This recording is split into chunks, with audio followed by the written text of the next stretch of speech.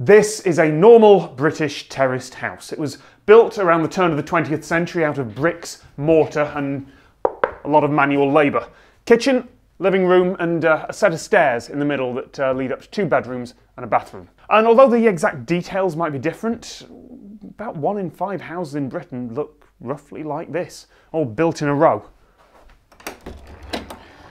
Trouble is, houses like this weren't built to save energy or to keep the heat in on a cold winter's day.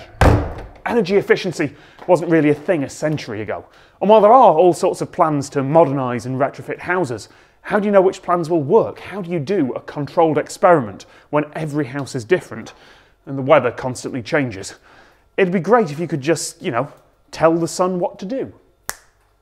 We're in uh, the Salford Energy House, which is the only whole building in a climate controlled chamber. The idea really was to take a Victorian house and look at different ways that we could make it more energy efficient. When you test something on its own, like a boiler, you know, you sit in a lab and you test it and it will be X percent efficient.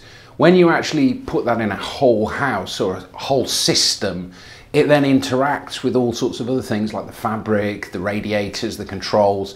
So understanding how things fit together as a whole house is really, really important. This isn't some close approximation of an old terraced house made with modern techniques. This was a genuine end of terrace house from out in Manchester. It was taken apart and then rebuilt piece by piece here in the environmental test chamber at the University of Salford.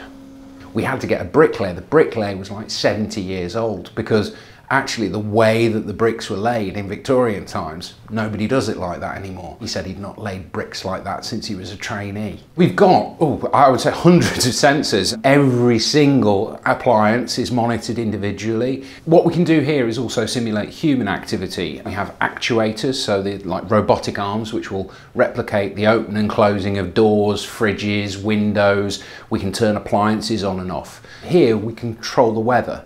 We have a, a, space next door with a big water tank um, and there are layers of piping that run around that will push rain onto the uh, side of the building because rain never falls down it always comes sideways. And then we also have a snow machine and we also have wind machines.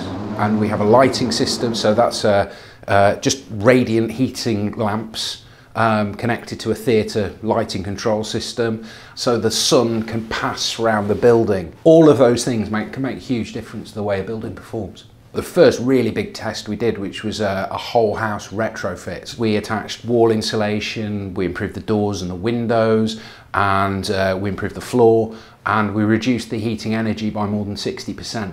There's always a trade-off with experiments like this. Yes, heating and cooling a large building that is inside another building is not massively energy efficient in itself, but compared to other industrial processes, it's not that bad.